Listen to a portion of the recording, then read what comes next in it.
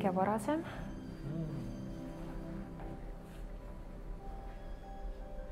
see on neljakümnendatest, sõjaaegne, siis kui Ülo oli veel koolipoiss ja võeti sõjaväkke nii et see on siis kuusteist, kaheksateist aastane oli mm. -hmm. ja siis muidugi tulevad väga tõsised autoportreed, sest et need on kõik vangilaagri aegsed, mis puudutab nüüd seda rida siin. et äh, see on viiskümmend neli ja on näha ka, eks ole, vangilaagri kostüüm paber oli tal seal, ta tegi seal plakatit ja kõik, aga lõuendit ei olnud. ja sellepärast need pildid ka nii väikesed, eks ju, et, et materjali oli mm, -hmm, oli väga-väga vähe.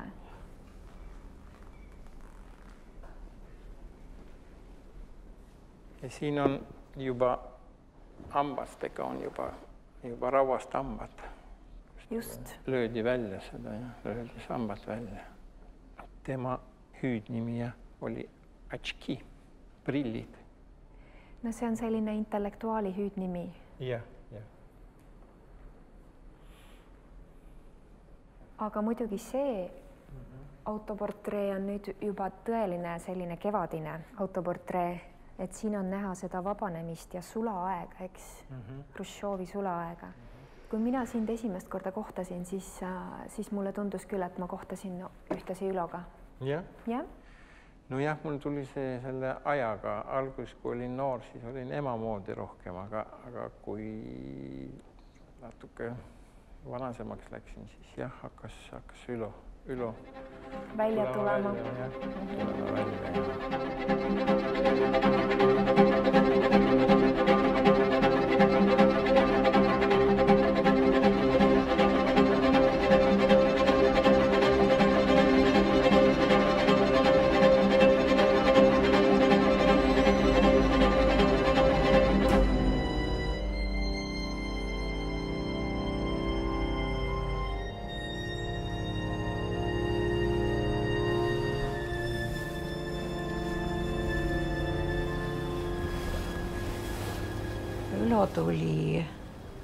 Ainult suveks, sest ta käis Prantsuse lütseumis Tallinnas, siis läks Pallasesse, siis oli ta juba teistmoodi kui teised.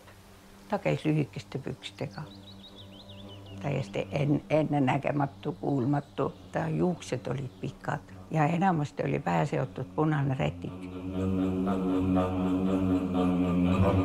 nimetati pagana suguharuks ometi meie vanaisa oli baptisti koguduse jutlustaja. et eh, me vist ajasime oma asju natuke teistmoodi kui teised pered.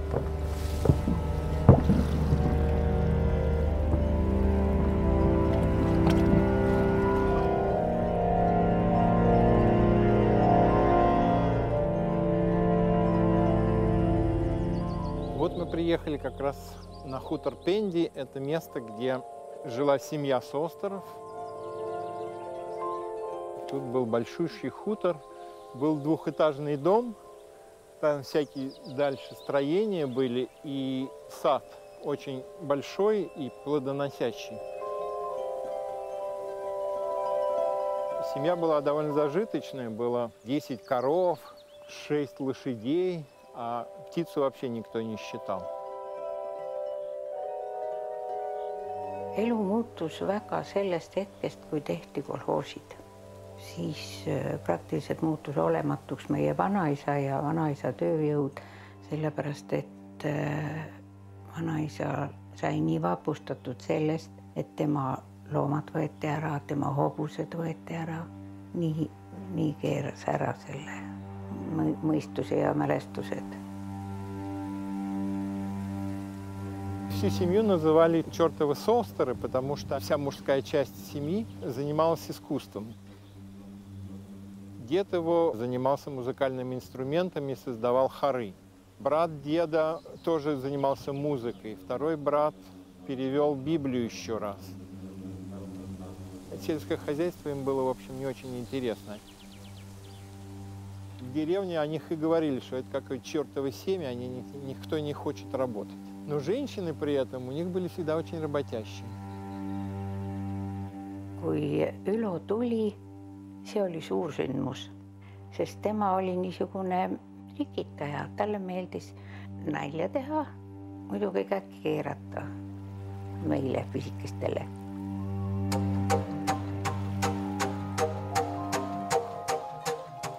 tulek oli niisugune, niisugune väga oodatud asi. head-paremat tehti sööki enne.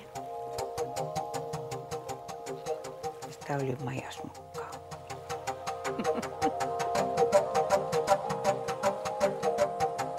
Юло никогда не был таким простым мальчиком. Он вечно придумывал что-нибудь. Например, он э, мог залезть под корову и прямо из-под коровы пить молоко. На одном из этих деревьев он, например, сказал, что он хочет ночью видеть звезды. И залез на дерево и привязал себя, значит, ремнем к дереву и всю ночь смотрел наверх с подушкой. Специально находил березу, сжег ее и потом этими углями рисовал везде, где только возможно. maalimiseks oli tal oma tuba, see oli pööningul aga me teadsime, et seal neid asju ei puudutata eriti, neid ei, mis sellest toast kõige rohkem on meelde jäänud, on see, see valgus, see äh, papi, paberi, õlivärvi äh,, liinaõli, kõik need lõhnad läbisegi. see oli mingi eriline loomus sellest toast. Его ловили, заставляли идти работать, а он опять сбегал и опять рисовал. с детства самого он это понял, что он только может заниматься искусством. Это была его жизнь. Это место дало ему все вообще. Он как бы все вот эти можжевельники, которые вокруг, он потом изображал. Вот он писал, что ему надо написать тысячу можжевельников. Вот этим как раз он и занимался всю жизнь, вспоминая вот именно это место.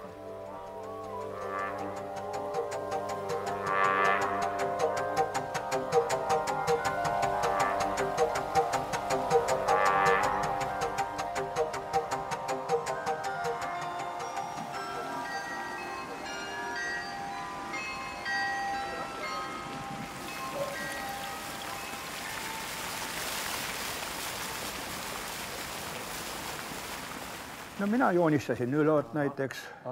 kui hästi. ja siin on ma teda Portree. ka joonistanud mm. -hmm. Mm -hmm. siin, no need on äh, internaadis või kohvikutes ja kohvikutes. niimoodi me oleme yeah. üle laua. siin on, on kohvikus, siin on teises lauas on taga ja Ülu on siin ees nurga peal ja. kui ilusad vuntsid sul uhked olid. ja siis olid mul uhked vuntsid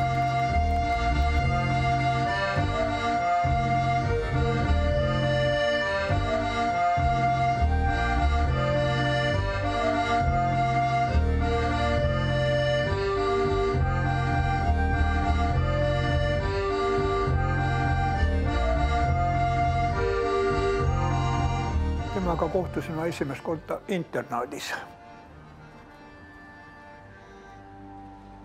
ta ütles, tuled minu juurde siia. kas ta elas siis seal juba? ja oli juba, tema oli juba ees, seal oli vannituba oli seal mm -hmm. ja, ja hommikul tulid tüdrukud tulid sinna siis hambaid pesema, silmi pesema ja kilkasid seal ja Ülu kargas vastu seda seina et siin on üks, üks isane olevus on siin seina taga ja. Это здание общежития художественного института Палас. И по поводу него есть два мнения, две легенды. Мужская легенда говорит о том, что когда Юла со товарищи ночью возвращался под утро от девушек, то он, значит, залезал по этой трубе туда, в окно, и потом открывал им дверь. А женская часть говорит о том, что это было женское общежитие, и Йоло опять-таки по этим трубам залазил к девушкам. Какая из них точная, никто ни, никогда не рассказывал. Все рассказывали свой вариант.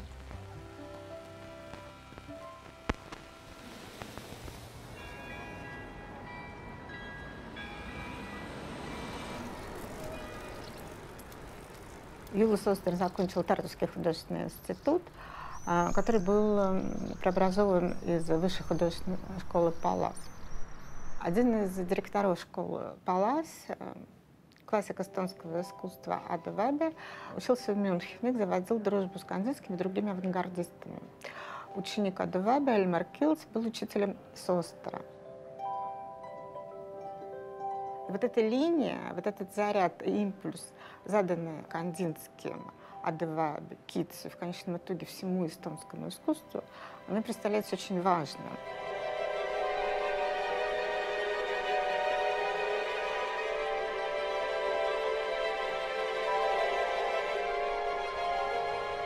Это здание художественного института Палас, в котором Юло учился с 45 по 1949 год. tema oli eh, tulnud Tartusse, kui sõda oli juba alanud ja tuli veel, astus Pallasesse, noh, ta sai natukene aega olla, siin olid juba sakslased sees.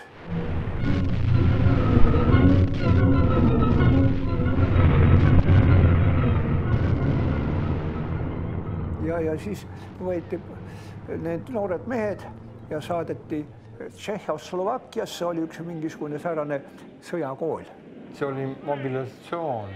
jah, jah, jah, ja siis Ülo rääkis, kuidas seal, ta oli siis õpetatud neid, kuidas lahinguväljalt neid haavatuid ära tuua.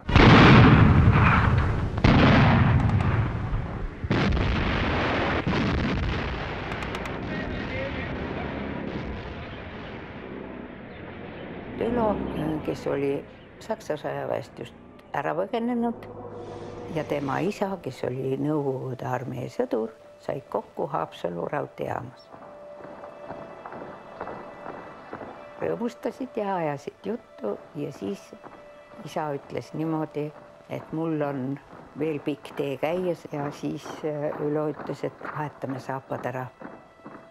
ja saksa saapad olid nii palju tugevamad ja siis nad said niimoodi saapad ära vahetatud isa rääkis nende oma Nende poistega, poistega. jah, lepiti kokku ja omavaheline asi, keegi ei ütle mitte midagi, koputajaid ei ole ja ja, ja sai laeva peale ja ja, ja jõudiski Hiiumaa randa Pendile. siis tuli kunstikooli tagasi mm -hmm. jah, jah, sügisel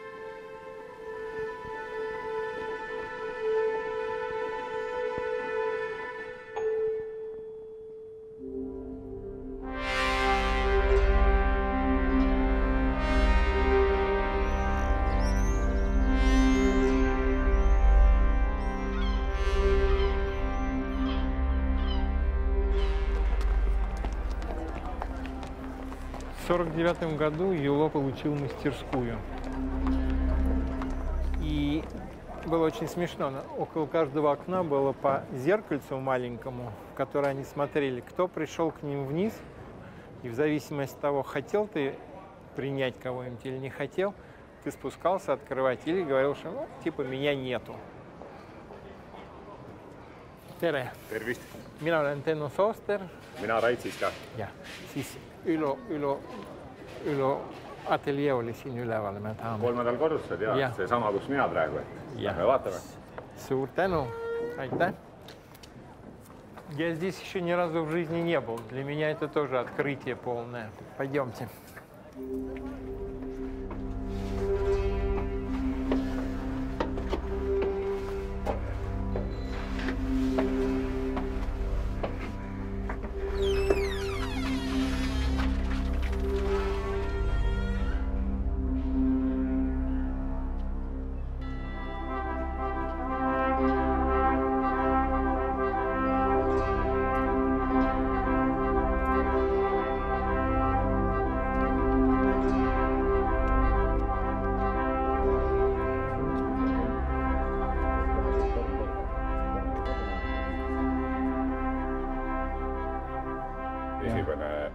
ateljee kasutaja siin oli Ülo Sooster aga tema töödega, kui teda arreteeriti, pärast põletati maha kõik. ja kõik siin on tööd. äh, üks inimene, kes siin oli pärast, pärast teda, tema oli see, kes põletas neid äh, eelnevate inimeste töid, sest noh, ta oli niisugune punane mees ja, Ahah. ta võttis nagu südamega seda asja, et keegi ei käskinud tal neid põletada, ta lihtsalt ise võttis kätte ja põletas.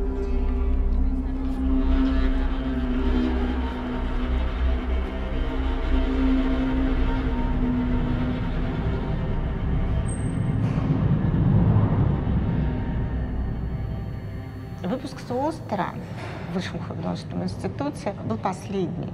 Не только Соустер был репрессирован, все выпускники, блестящие художники были осуждены по вымышленным обвинениям и прошли сталинский ГУЛАГ. alguses oli, et äh, lähevad põgenema üle Hiina piiri Pariisi lennukiga mm, -hmm. lennuk. Ülu ütles, et sellel lennukil ta oli käinud Hiiumaal, sel vaheb ju küll äh, kooli ajal lennukiga Hiiumaale.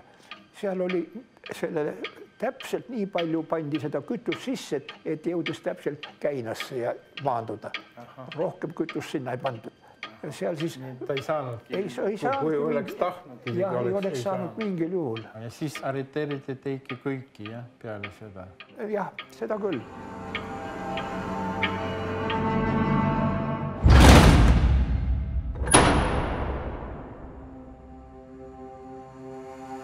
Oskas kähkusti, nipsti tõmmata sealt ahju suust peotäie sütt ja tõi selle kambrisse ära ja vot siis selle kamb-, selle sööga ta siis tema joonistas.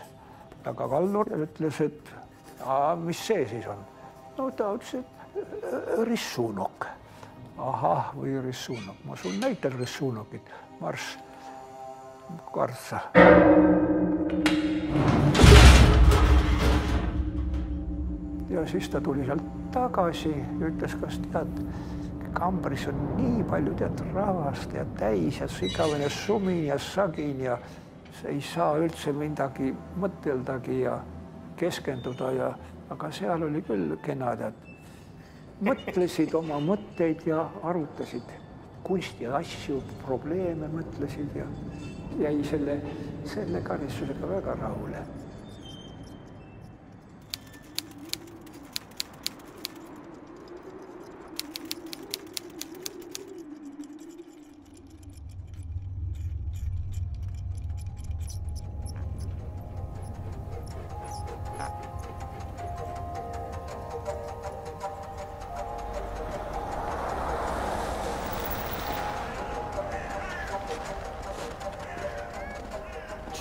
часа полета из Москвы, то вот мы в Караганде. В здании за мной находится папка, ради которой мы сюда прилетели. Папка заключенного Юло Состера. Секретная папка до сих пор. Более 60 лет прошло уже с тех пор, как отца реабилитировали. 50 лет со дня смерти. 30 лет почти с того момента, как это государство совершенно самостоятельное. А папка до сих пор секретная. Но будем надеяться нам выдадут ее.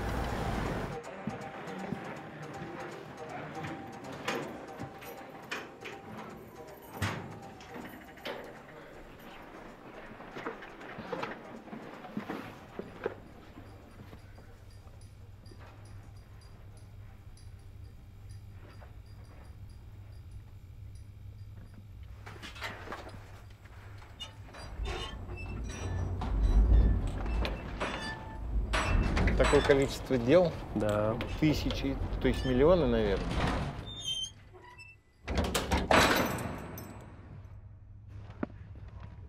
Вот это есть папка, да? Вот. Да. Личное дело. Соустер Юла Еханасович. Отбывал наказание в Карлаве в 50-х годах 20 века. Ну, хотел бы сказать, что так как дело находится под грифом, в настоящее время мы ну, не можем вам его показать полностью. Э, это есть определенные э, требования законодательства, вы понимаете, да? Да, я прекрасно понимаю, но принципе... буду, буду рад любому, что вы мне покажете. Откроем. В принципе, я вам дам. Угу. О, вот его фотография. фотография. Возьмите, пожалуйста. Да. Она со скрепки. Угу. Там две фотографии. Вы представляете, я не видел его никогда таким. Это очень волнительно. Я понимаю, что он его не трогал, он сам его не видел. Или Нет, видел? Ну, он участвовал. Это же дело Участвовал. не одного дня. Ну да. Каждый То год есть это какие-то допросы делали записи, да? да. Здесь вот его личная его роспись. А, его личная роспись. Роспись, да. его палец, его отпечаток, палец. видите? Да, да. Тут еще вот страница там. Еще страница. Словесный, Словесный портрет. портрет. Это чрезвычайно интересно. И даже не знал, что он такого высокого роста. Он, он Сколько там? 180. Ну вот он. Вот плечи горизонтальные, это я помню, он был такой, достаточно такой, да, сильный А человек. вообще вы его помните, да? Я помню, да, а, он, к сожалению, ушел, когда мне было 13 лет. Глаза голубые. У него были изумительные голубые глаза, и вся Москва его помнит, как вот... Голубоглазый, да? Красавец. Да, красавцы, да. Ну, Стэн, а теперь я вот по э, поручению руководства, да, вот хотел бы вам э, вручить сборник рисунков, э, которые были э, нарисованы заключенными Карлага, да. На альбоме на этом как раз иллюстрация Юло.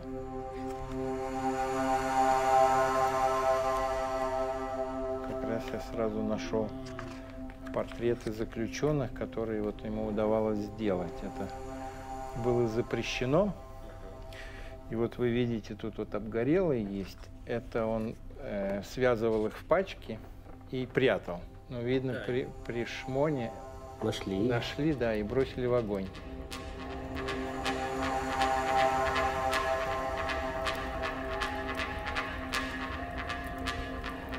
Юло удавалось выхватывать эти рисунки. Но один раз это увидел охранник и ногой выбил ему передние зубы.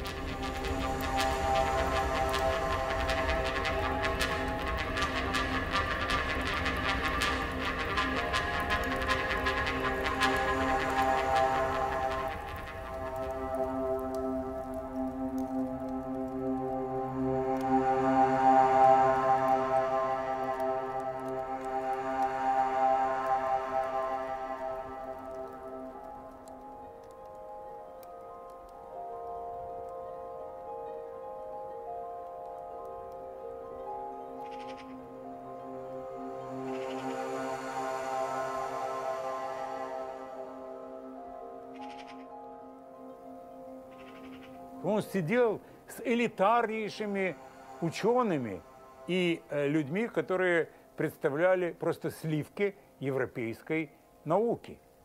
И Юло, э, обладая удивительным э, цепким вниманием, хорошей памятью, он все это ну, приставал в своем крестьянском мозгу.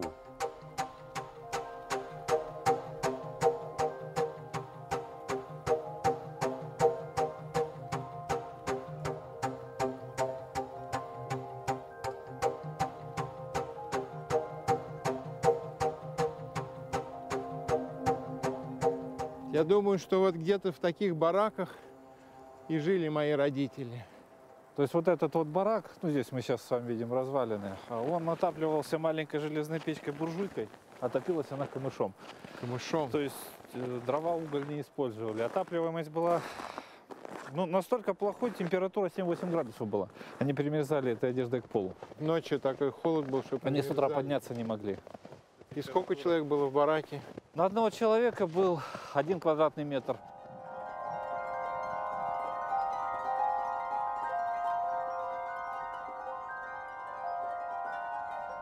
ta näeb seal siis absoluutselt kõike, mida maailmal pakkuda, nagu tantering põrgusse, eks ole. peale laagrit, Stalini-aegsed laagrid, noh, sa ikkagi sussid püsti ei pista sa, kui sa sealt eluga välja tuled.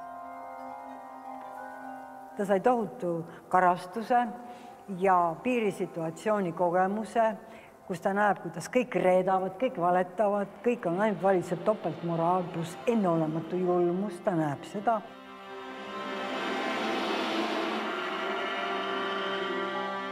see on kogemus, see on üks osa tema elust, eks ole, ja ma arvan, et see annab hiljem tema loomingule ka selle teravuse. ja siis ta sai naise sealt, eks ju, sinu ema.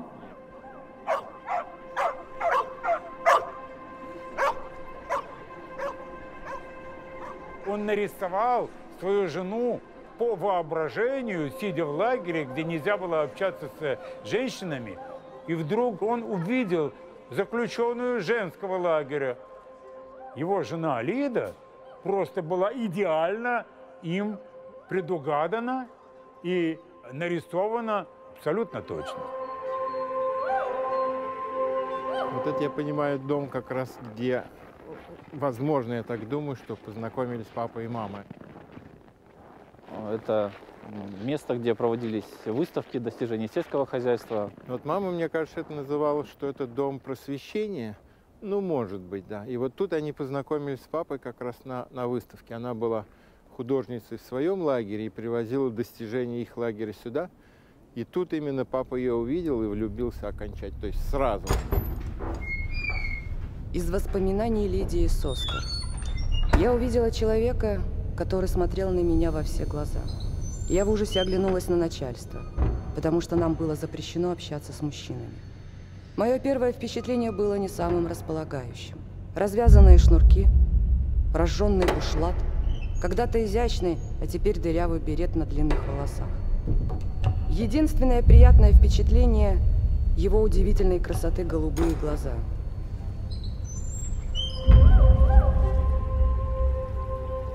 Потом я стала получать письма с рисунками. Всюду мои портреты, в каждой строчке мечты о соединении.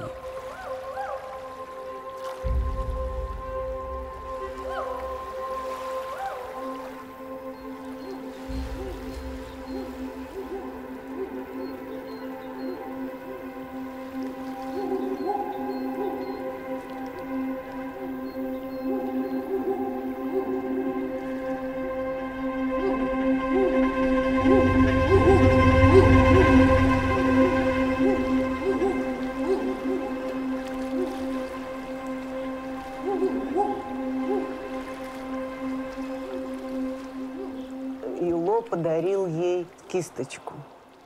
И как Лида говорила, что у нее произошел какой-то вот совершеннейший переворот. Она была, конечно, под впечатлением этого человека, этой личности. Но и он увидел ее вот свет, от нее исходил свет. Мы оба страшно волновались, как посмотрят на наш брак его родители. Но неожиданно помогло мое еврейское происхождение. Лишь бы не русское, был ответ его родных. В начале 56 -го года меня досрочно освободили. Юла расконвоировали, и он снял комнату в Долинке. Наш счастливый медовый месяц проходил в весенних садах, где цвели яблони, тихо журчала вода в арыках.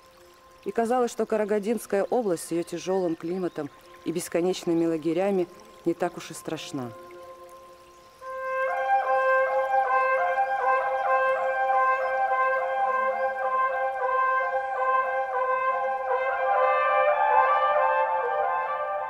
Нельзя сказать, что я счастлив от поездки в Карганду и в этот лагерь Доленко, где мои родители провели всю свою молодость. Но это для меня оказалось чрезвычайно важным. Только побывав здесь, я понимаю, насколько Юло было тяжело вернуться к свободному творчеству, насколько его душа была всегда свободна, что это место ему не помешало ни в чем.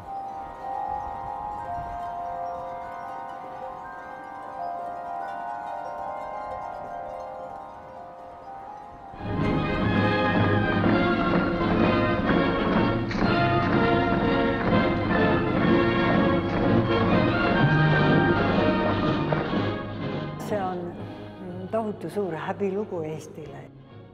kui Ülo tuli nüüd laagrist oma naisega, sinu emaga, eks ole, ja see Stalini aeg oli veel väga lähedal.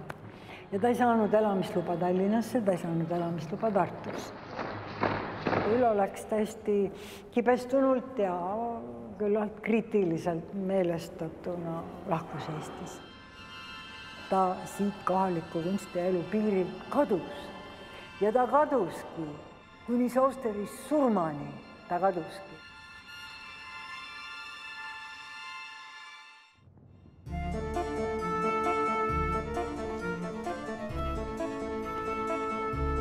Это знаменитая улица Красина, дом 7. Наши окна находились вот здесь, в полуподвале. И это первая квартира, в которой Юло жил в Москве, как уже человек, который приехал в Москву и стал москвичом. Пропиской, которую с большим трудом нам удалось получить, потому что сука мент не хотел давать уголовникам отдельную комнату.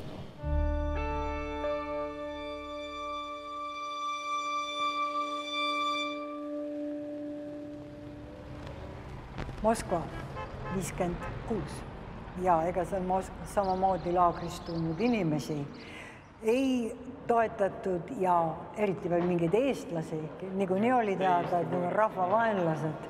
nii palju, kui mina olen aru saanud, läks tal väga halvasti alguses Moskvas.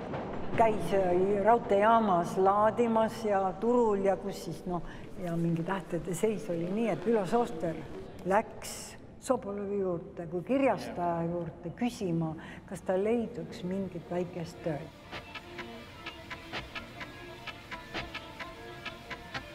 Это было очень важно для Состера, потому что он, он в Москве никого не знал, а Юрий Соболев уже занимался книжной иллюстрацией. И очень быстро, действительно, Соболев нашел для него заказ. У Соболева было стремление к аристократической форме жизни. Они вместе пытались в кафе артистическом, что называется, иметь свой столик и приходить там по определенным дням или определенным часам и там сидеть. Ну вот такая псевдопарижская светская жизнь, которая для Соболева была формой декора, а для его, наверное, мечта и память. Только по школе студии МХАТ я узнал это место. Напротив нее всегда располагалось кафе «Артистическое», в котором Юра и Юло организовали свой штаб и проводили тут все свободное время и несвободное время. У нас сохранились сотни рисунков того, как они сидели в кафе, рисовали друг друга, каких-то других посетителей. В общем, это была такая нормальная эстонская атмосфера, сидеть в кафе, пить кофе и как бы общаться весь день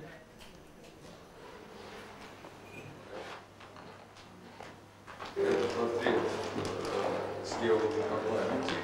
мы помнили друг друга наизусть, и каждый из нас мог рисовать, закрыв глаза.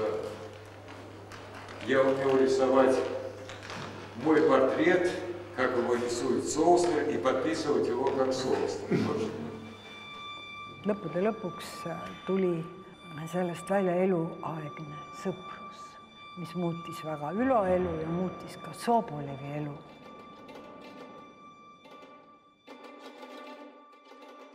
Nad, määratlesid ennast kui kunstnikud, vabad mehed kinnisel maal, jah, mitte vabal maal.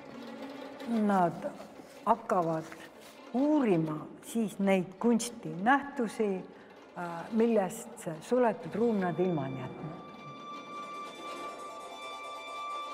Ülo vist terve oma päeva istuski joonistuslaua taga ja joonistas, kui ta ei suhelnud ja siin on nüüd kõik erinevad teemad absoluutselt mängib ta joonistustes läbi.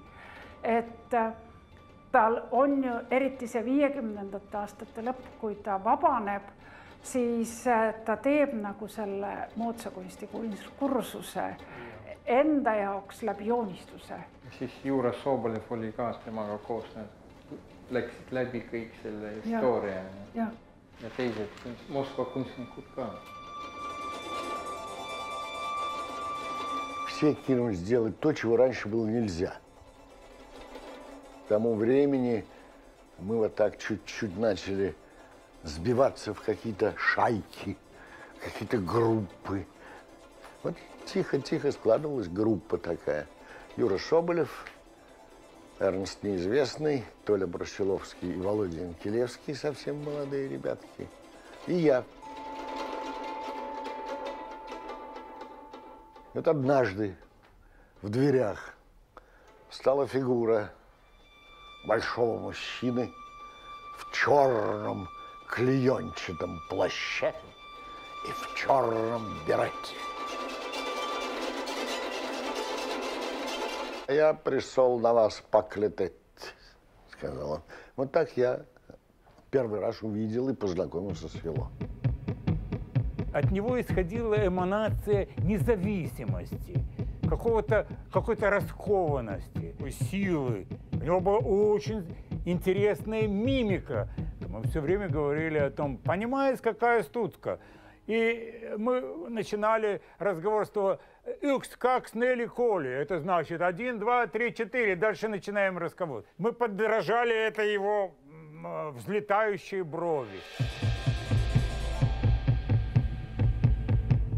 Он принес с собой свежий ветер международного западного искусства. В квартире на где они с Лидой устраивали какие-то не то четверги, не то вторники, там собралась изумительная интеллектуальная компания во главе с Аркадием Акимовичем Штенбергом, Эдуардом Штенбергом, э, Олегом Целковым, также там был Миша Гробман. Это было необыкновенное время, когда начинался второй русский ав авангард. И в нашем обществе это были замечательные поэты, замечательные люди. Это общение высокого совершенно класса. А на Красина у Лиды собирались люди и читали стихи, и говорили о искусстве. Причем люди совершенно раз, э, абсолютно разнообразные заваливался тогда рядом расположенный э, современник, чуть ли не в полном составе, включая там Табакова, Ефремова, кто-то из мхатовцев, из Малого театра. Селедка и в основном водка.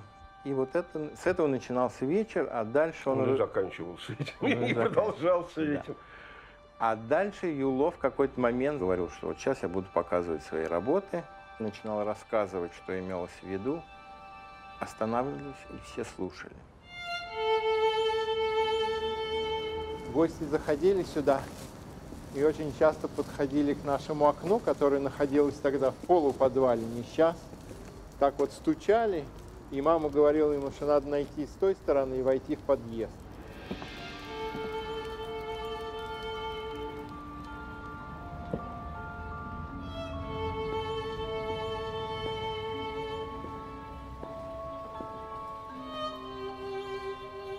Обалдеть. Подъезд замуровали нашу лестницу и квартиру, теперь не спустишься, все закрыли. Подвала теперь нет уже. В нашу квартиру не войдешь больше, бывшую.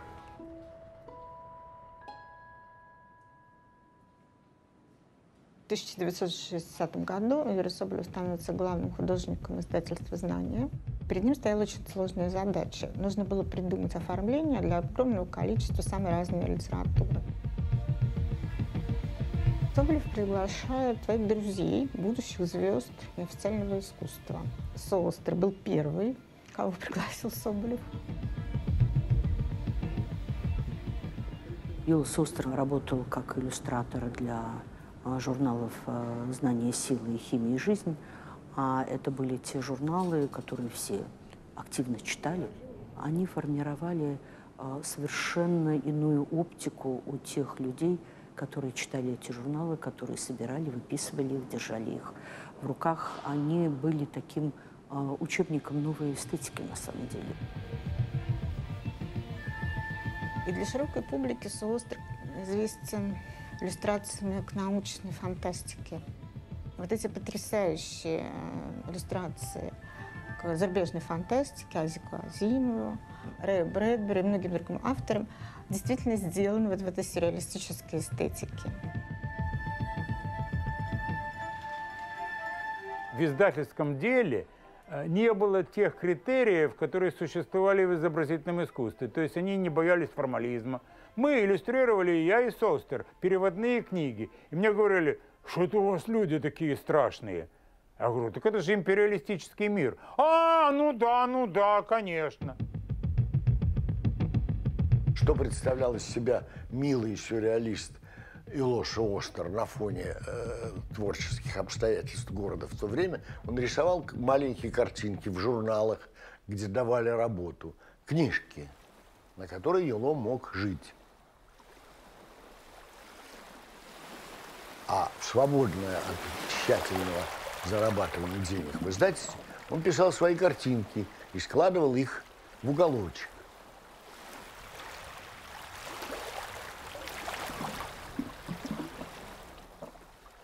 У них же не было выставок. И Юло это переживал, Потому что для него нормальное кровообращение художника, это он сделал работу, он ее повесил, он ее выставил.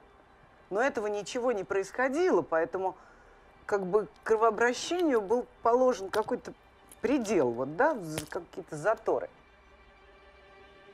Представлять такие работы было сложно. Зритель для того, чтобы смотреть такое искусство, должен быть специальный. На фоне советских художников, рисовавших э, стройки коммунизма, он, конечно, совершенно не воспринимался. А это рабочее депо «Москва сортировочная», в котором художник Налбандян изобразил в своей картине новое развитие великого почина. Это одна из первых бригад коммунистического труда, патриотического движения, зародившегося накануне 21-го съезда партии.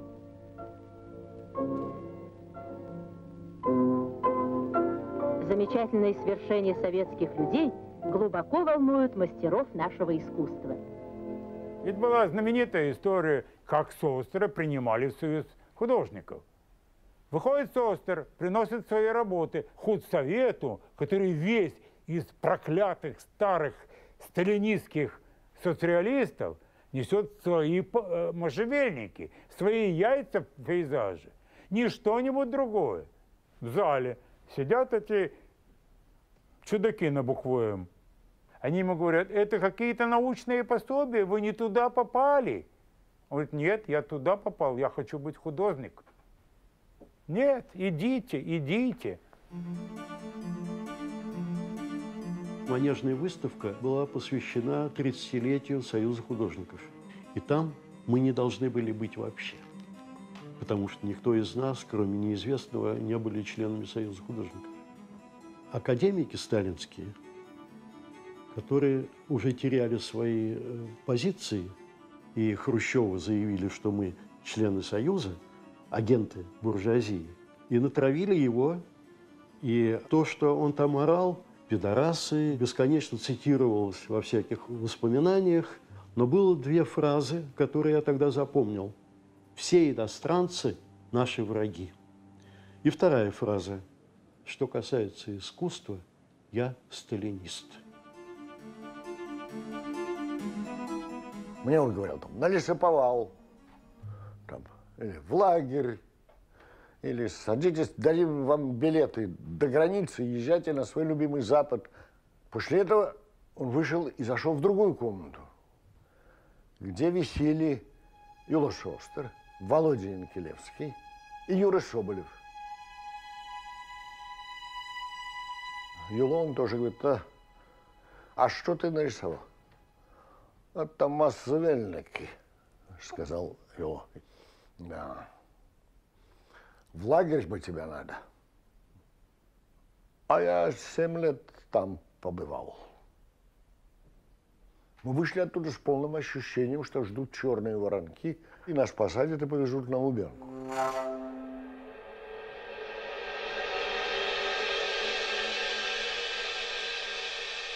Услышал я впервые о, о Состове в доме у Алика Гинзбурга. Я сразу же собрался, поехал к, Философу знакомиться. Он показывал мне свои работы. Вот, и я так как-то почувствовал, что он чувствует себя как-то некомфортно.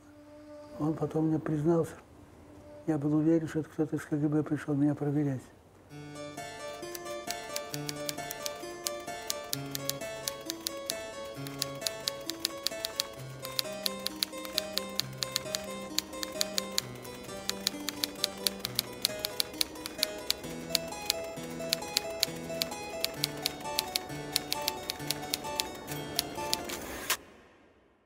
После манежа, когда в детском саду был какой-то праздник, я единственный сказал, что я не буду хвалить Хрущева, потому что он моего папу ругал.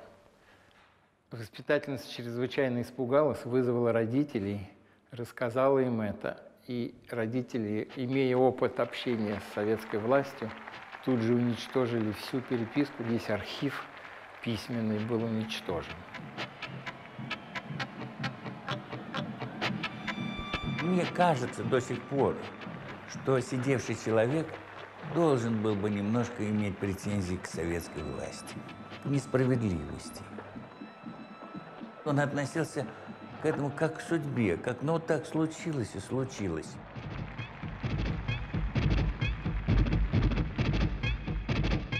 Стали снижать расценки за книжную графику.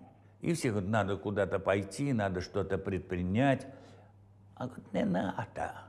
И так это легче, чем землю копать.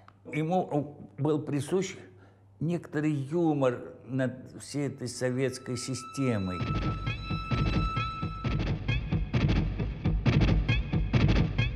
Ülo Soosteril, eriti peale maneesi, puudus igasugune maailma paranduslik soov või usk või noh, aga ta ikkagi võitles selle vabadus iseenda, noh, enda jaoks, vabadus millegi jaoks, vabadus oma loomingu jaoks, eks ju.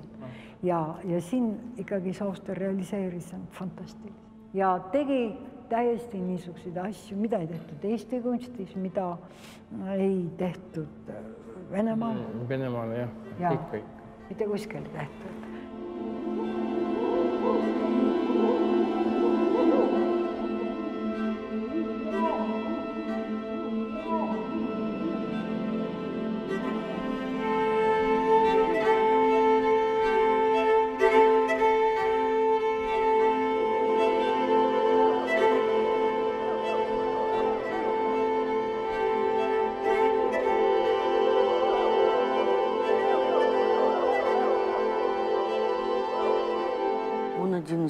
Немногих, кто обратился к метафизике, такой настоящей серьезной метафизике.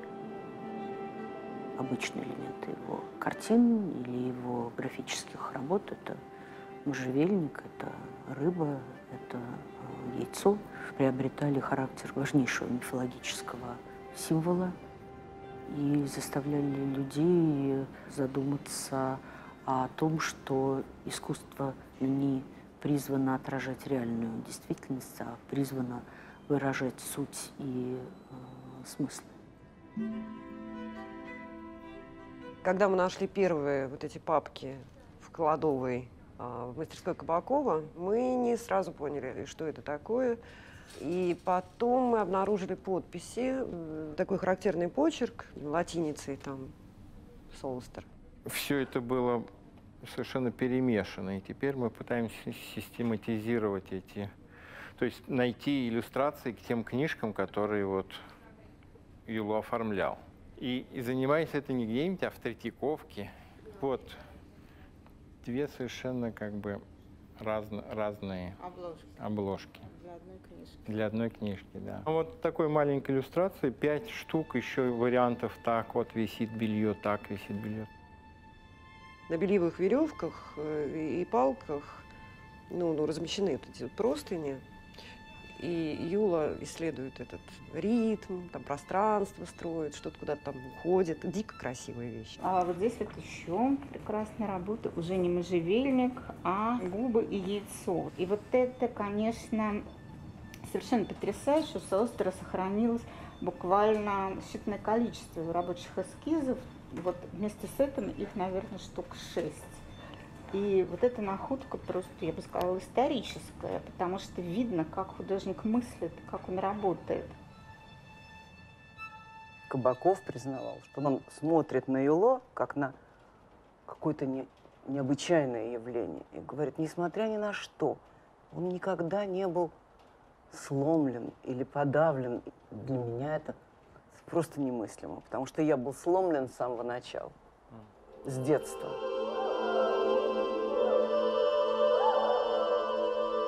Страх – сопутствующая форма существования человека в России. Просто как прописка. Он был отважный. Он хорошо понимал все, что было. Он хорошо понимал, что это может повториться практически в любое время. Но он ясно дал себе задачу жить так, как ему представляется, а дальше хоть трава не растет.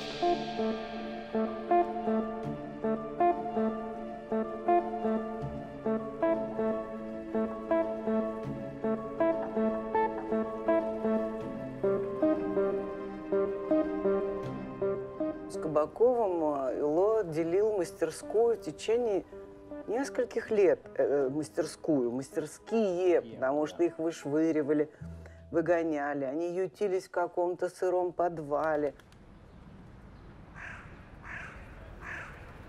И когда, наконец, засиял свет в конце тоннеля, когда Илья дошел до Дома России, стал подниматься по лестнице, он встретился с каким-то стариком.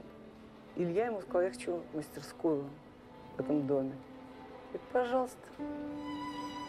Илья бежит сразу к Юло и говорит, значит, давай строиться вместе. Юло говорит, скажи, могу построить, у меня в кармане 3 рубля 20 копеек. Это так называемая черная лестница. Когда-то она предназначалась для прислуги. Но потом в советское время здесь как бы народ поднимался к себе домой. Это сейчас такой подъезд чистый, ухоженный. А раньше он был вот эта натуральная дверь и натуральный цвет. А так еще стены были таким же цветом покрашены. Вот здесь стояли байки с отбросами, которые выбрасывали из этих квартир. И за несколько дней этот подъезд наполнялся дикими запахами. И Юло с Кабаковым, по-моему, специально это придумали, чтобы иностранцы, когда они приходили к ним в гости, проходили сквозь этот ад и шли наверх к чистому искусству.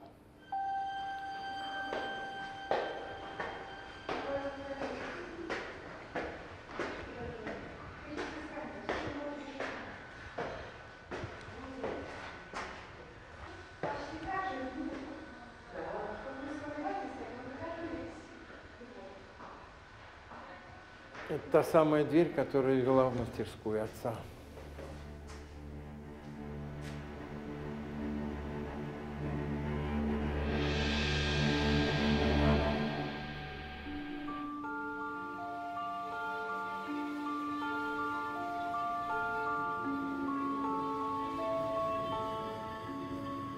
Это все, что осталось от мастерской после пожара.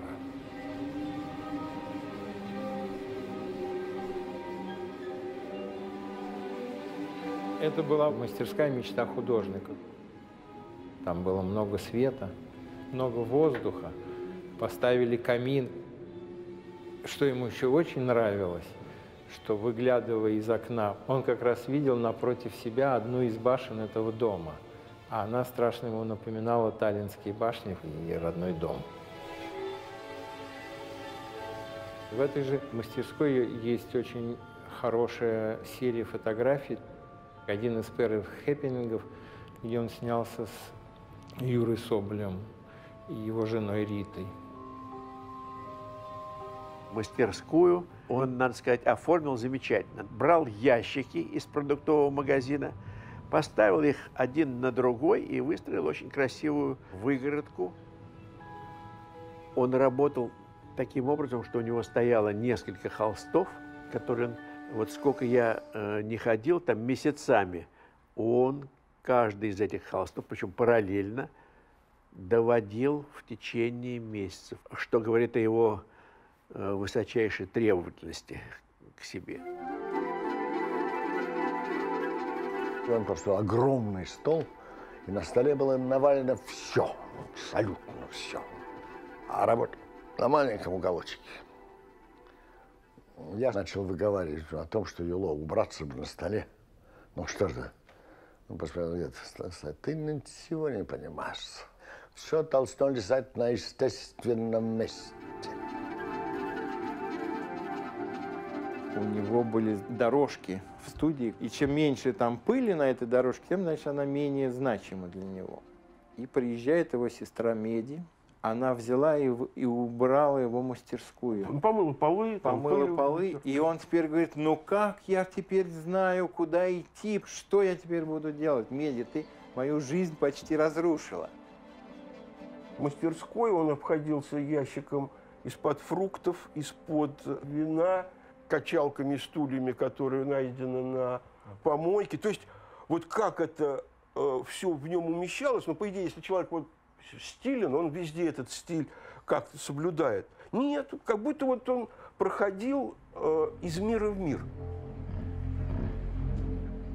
Это был один этаж связанные с проходом, и этот проход все время функционировал, потому что мы переходили от Юло к Илье, Илья заходил к Юло и так далее. Вот это было общее пространство. Прошу, прошу, Сейчас. проходите. Сейчас я нахожусь э, в мастерской Ильи Кабакова, в которой происходит ремонт.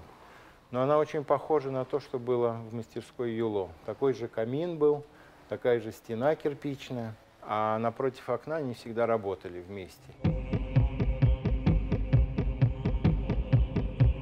К Кабакову приезжает его отец и окапывается там в мастерской. Он мне говорит, ты знаешь, что я чувствую? Что ты туда не ходишь в мастерскую. Я говорю, ну, Иосиф Бенсонович, он туда уезжает не чтобы я туда ездила, а он уезжает туда работать. Я сейчас тебе объясню. Я пошел к Юло, его другу, в мастерскую. У него весь пол уставлен бутылками. На диване лежит голая женщина, и он ее рисует. Ты меня поняла? Ты обещаешь папе, что ты будешь ходить туда?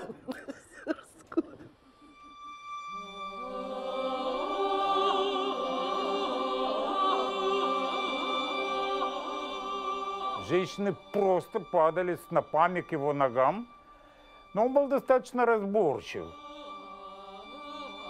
Он был человеком буйной страсти. Женщины у него все были очень крутого нрава, очень сами, сами по себе сильные духом. Крупные кобылицы такие, э, злобные в любви. Лида не была овечкой стопроцентно, но она была бытовым, житейским, еврейским умом очень крепка. Она терпела это, потому что она понимала, кто такой Юло Состер. С теми женщинами, с которыми он э, имел какие-то взаимоотношения, был очень честен. Они все знали, что он женат, и они понимали, что Состер такой зверь, которого удержать на привязи не сможет ни одна из них. Из воспоминаний Лидии Состер. Юла пытался объять необъятное. Хотел любить всех женщин. Метался, как тигр в клетке, досадуя, что его не понимают. Топал в ярости ногами, а злость топил в вине. Он все хотел испробовать на себе. Затягивал до тошноты веревку на шее. Лежал, замерзая в снегу, чтобы почувствовать, что испытывают люди, когда приближается смерть. Пробовал морфий и курил гашиш. И все это, чтобы передать человеческие чувства и наслаждения в рисунках и картинах.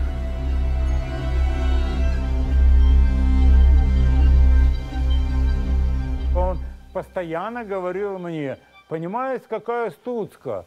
Я видел фильм в голове, когда я засыпаю, что я должен нарисовать тысяча можжевельники. Он жил в таком мире э, удивительных событий, удивительных снов, удивительных женщин, которых он все время рисовал. Он вообще очень оригинально мыслил.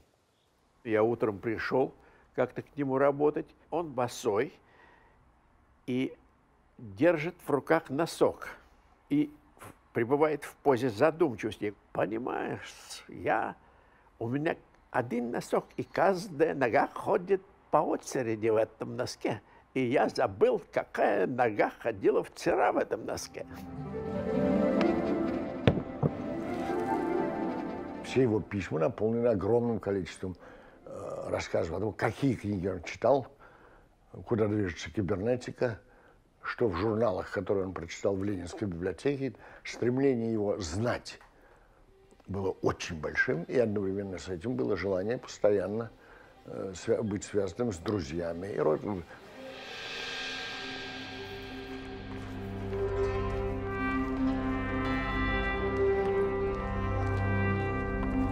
Приобретальный отец в Эстонии черпал вдохновение. То есть все воспоминания детства, все переживания детства для него постоянно было как такая ментальная э, подпитка в его творчестве. Он отправил меня в Эстонию маленького, и с тех пор я заговорил. О чем даже есть письмо отца деду, где он пишет «Спасибо, что ты ему вложил в рот эстонский язык».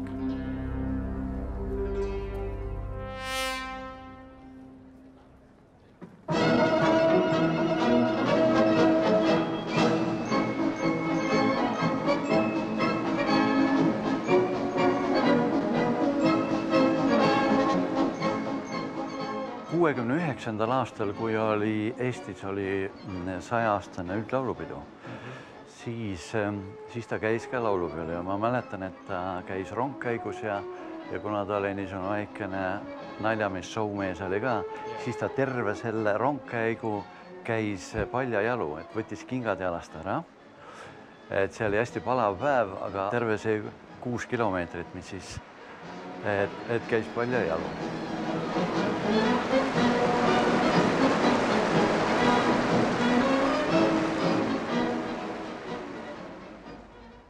ta tuli Tartusse ja rääkis, mida tähendab tõeline abstraktne kunst. teate, te ärge jamage nende pisiasjadega, koloriidi ja muu asjaga, vaid tehke ikkagi niisugust, mis on vägev ja võimas ja ärge andke alla ja lööge edasi ja, jah, sest te olete ju kõik nii andekad, teil on kõik, kõik olemas, olete täitsa võimelised niisuguseks noh, uueks, uueks ajastuks.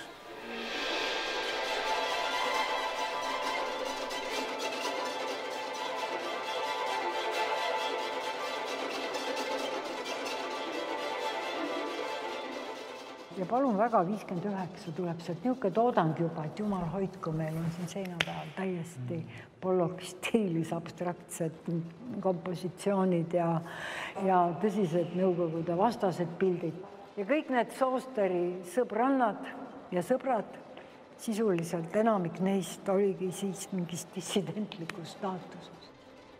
see oli järjekordne kindel sõnum, kuidas Eestis teda ei taheta, eks ole? Ja kuidas ta Eestisse ei mahu ja järgmine väga huvitav, väga võimas märksõna Eesti kultuuri ajaloos on siis äh, Tallinn-Moskva sild, mille Moskva poolt ehitas alguses Soster, Sobolev ja Eesti poolt lülitusid mängu noored no. poisikesed, kes on praegu Eesti kõige kuulsamad kunstnikud, kes üldse saab olla, niisugune vaimne sild, eks ju, kus ei ole mingisugust russofoobiat, jutt, kunst, looming, kunst, uskumatu.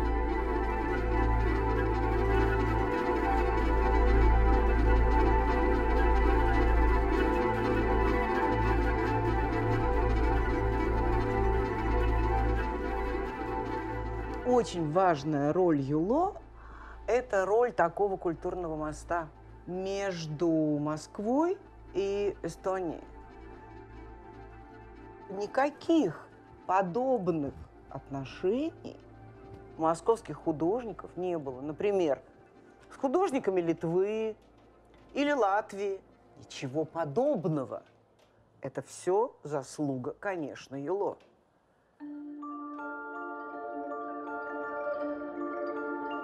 Когда Состер пришел на Союз мультфильм, то, конечно, это была радость для всех. Художники же профессиональные, они видят сразу, с кем имеют дело. Те молодые девицы, которые работали на студии, влюбились и в него, и в Юру Соболева. Комната, где происходила эта работа, благоухала запахом хорошего э, табака и, и кофе. Когда Юло пришел работать на стеклянную гармонику, он стал ходить босиком по студии. Сидел, значит, такой за, за столом с большой кружкой всегда. И бесконечные сигареты одна за другой. Потом на студии вдруг появился какой-то человек, который построил что-то типа ксерокса. И как только Юло это увидел, Он сразу засунул туда сначала две руки и снял их. И вот эти свои руки он сохранил и использовал их иногда где-то. И я вспоминаю э, работу, действительно страстную работу э, над фильмом «Стеклянная гармоника», потому что все эти ребята, и э, Юло, и Юра Соболев, и Альфред Шнитке, это была их первая встреча с мультипликацией.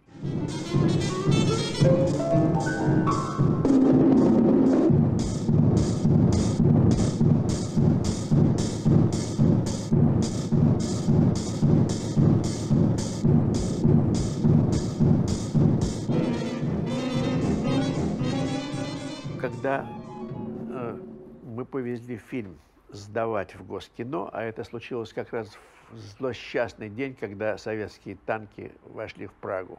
Было такое выражение «неконтролируемый подтекст». Фильм этот был запрещен.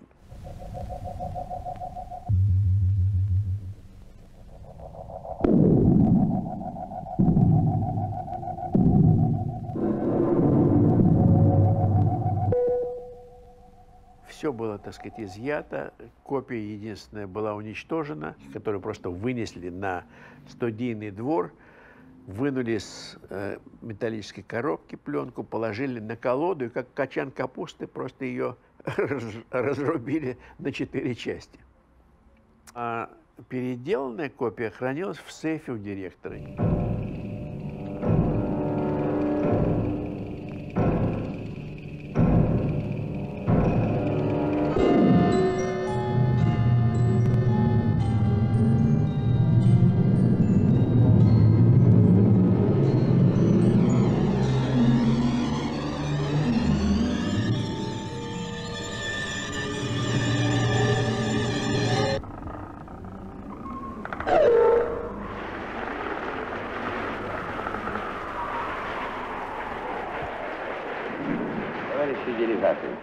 КПСС все эти годы, руководствуясь определенной 20-ми, 22-ми съездами партии, программой, неуклонно вела советский народ по пути строительства коммунизма. Наше предосъездное время, это было время уже какого-то затихания. И Юло один из первых почувствовал как бы конец эпохи. Из-за этого у него была идея отъезда, идея присоединения к мировой культуре и все такое.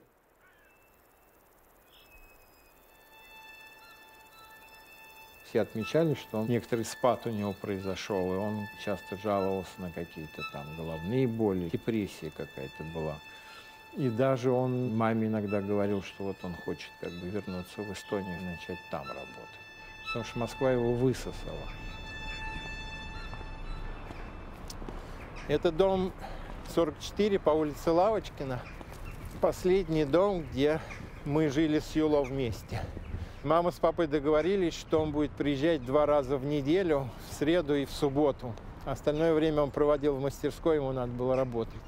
Так вот, в эти дни, в любую погоду, он бежал от речного вокзала, две автобусные остановки бегом, с портфелем в руке, делал, как он говорил, спорт. Он как раз перед этим прочел какую-то книжку, что бег – это залог здоровья. В одну из суббот, которую он должен приехать, он не появился.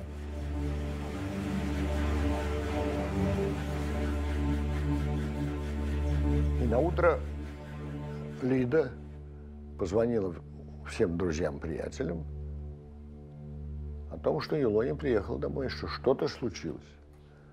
Стали ее уговаривать, да перестань, да не можно куда-нибудь, зашел к приятелям, там загулял. Да, да.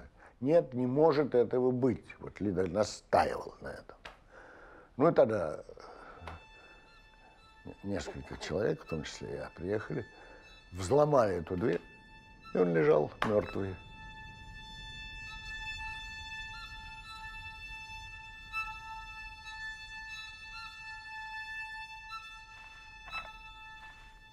Это гостевая книга.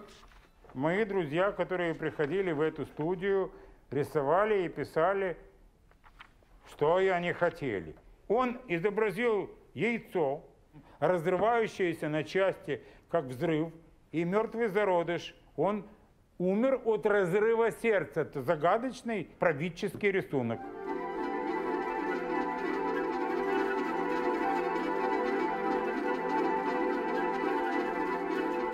Гроб его был поставлен на союз мультфильм, это на теперешней Долгоруковской улице, на Каляевке.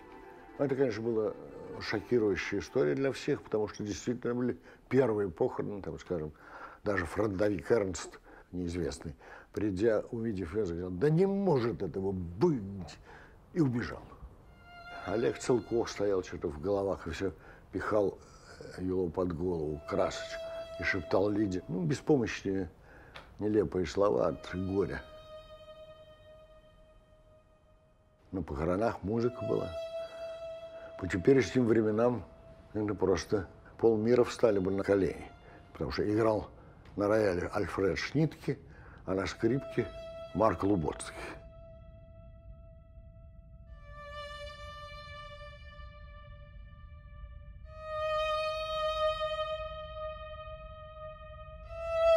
Потом мы собрались в мастерской, где, где было в отсутствии Юло и странно, и печально, и непостижимо.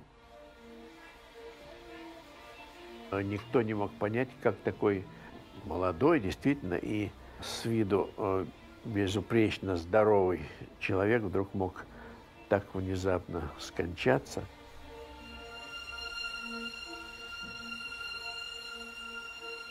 Конечно, он себя не берег, он себя тратил, может быть, он жег свечу с двух сторон. Но главное все-таки, мне кажется, что это был душевный, психологический дискомфорт. Нормальный европейский человек, помещенный в эту, э, в эту гущу абсурда, какой бы он ни был мощный, хуторской эстонец, но все-таки он был художник, он был тонкий человек.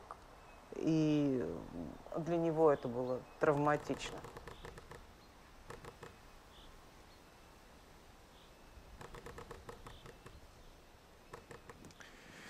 Это кладбище Мецакальмисту.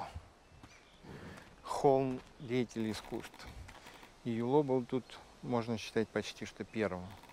У нас даже не было сомнений, что его надо будет привезти в Эстонию и похоронить здесь. В Москве его только кремировали, а здесь были настоящие похороны. Проект придумал Юра Соболев и Илья Кабаков. Первоначально это было медное яйцо. Но в 2000-х годах, когда в Эстонии были тяжелые времена, его своровали. И это второе яйцо, которое я сделал уже из мрамора. Сделал специально белым и черным.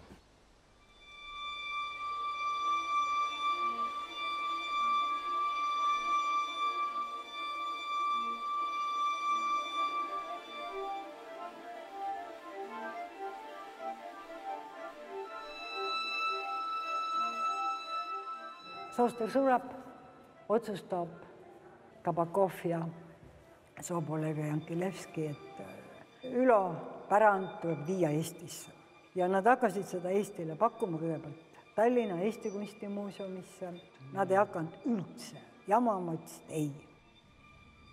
Liidia tuli siis Tartusse ja Tartu otsustas tööd vastu võtta ja kohe ka näituse teha yeah ja arvestades seda, et enne oli Ülo vaid paaril korral Eestis mõne üksiku tööga näidatud, siis tuhat üheksasada seitsekümmend üks muuseumi esimesel korrusel avada näitus, trükiti kataloog, et see oli, see on tegelikult Sosteriana algus. Мы собрались и все поехали туда. Ведь это была первая персональная выставка кого бы то ни было из нас – это же надо было сойти с ума от счастья и от удивления. Это был еще один пример демонстрации того, что вот там живут по-другому, нежели здесь. И часть работ друзья передали в этот музей, они подарили эти работы, решив, что наследие большого эстонского художника, важного для эстонской культуры, должно находиться на родине. Tartu ongi ju ja ma loodan, et ka jääb selleks ÜLO uurimise keskuseks, kuna muuseumikogus on neli tuhat tööd Tartus. et ilma Tartuta ei ole võimalik Soosterit uurida, et kes pole Tartu kunstimuuseumis käinud, see ei saa alustada tegelikult seda tööd. Мы лишены вот э, такого большого количества произведений, которые никогда не были показаны а, в России. Это очень грустно.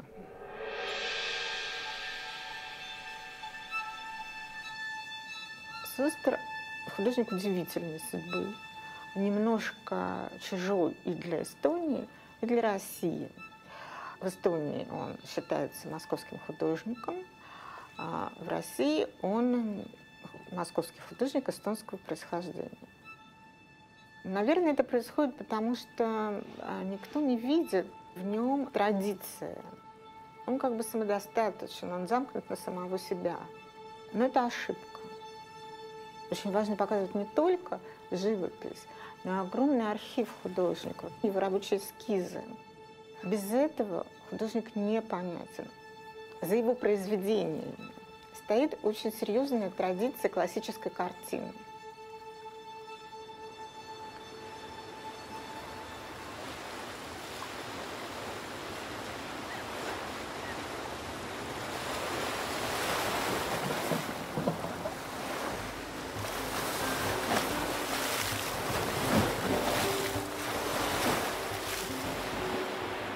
Мы наказ его выполнили. Мы уехали в Израиль. Сегодня пятничный вечер, вся семья собралась у нас дома. Это дочь Полина. Это Надежда Аркадьевна, жена моя.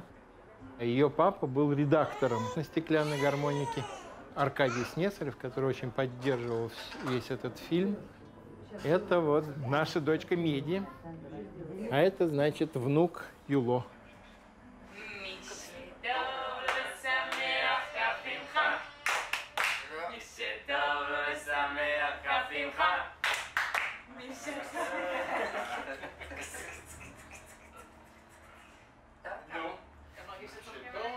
В Москве живет еще один человек по фамилии Состер, Маргарита Состер, художник и искусствовед.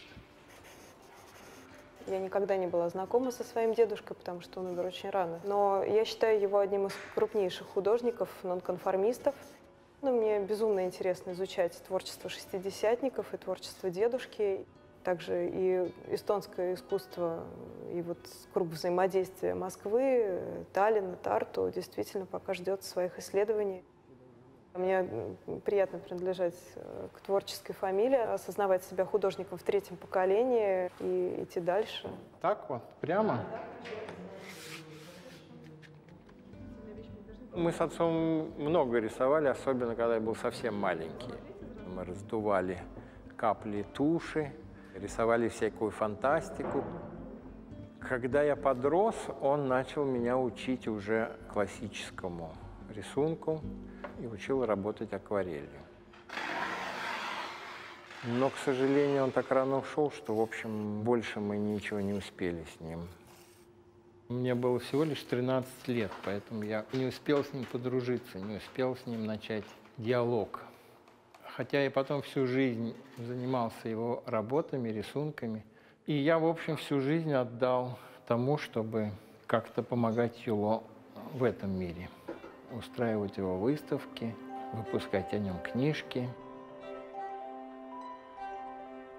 Tule minu juurde, tule minu juurde, tule minu juurde. vaata, see on, vanaema kirjutas, vanaema kirjutas raamatu. näed sa, kui ilus ta oli. Я с улицы Красина, Лидия Состер. Вот.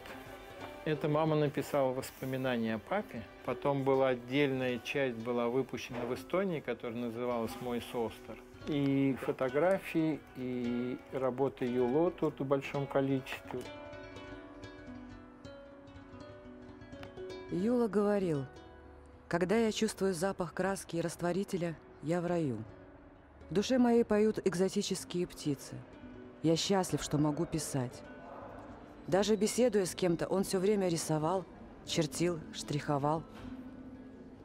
Больше жизни я боялась потерять Юла. Ужасно жалею, что никогда не вела дневник, а все наши письма мы уничтожили из-за возможного ареста. Он часто повторял, что родился свободным, а приходится жить в клетке. Все время искал пути, как освободиться. Верил, что будет жить очень-очень долго, а прожил всего 46. you